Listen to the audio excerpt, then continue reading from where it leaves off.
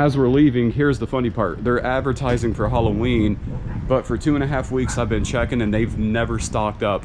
All right, y'all, let me know in the comments below, how's it coming along for you at your local stores and all that? This is the worst year in my life for Halloween because hardware stores, grocery stores, and arts and craft stores, they don't have nothing for Halloween this year. Even Spirit.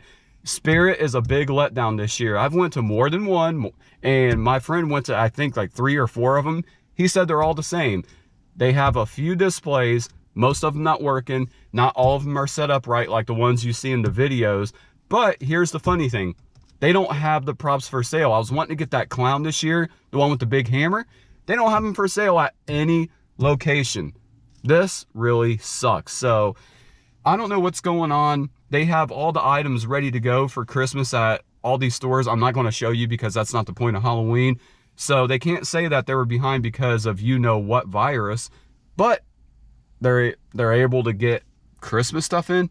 Oh, whatever. But let me know in the comments below how did you guys pull out with all the Halloween decor, and I'll continue to look around for some Halloween stuff in the next video. You guys stay tuned. Hopefully I'll luck out better at the other stores. Check you later.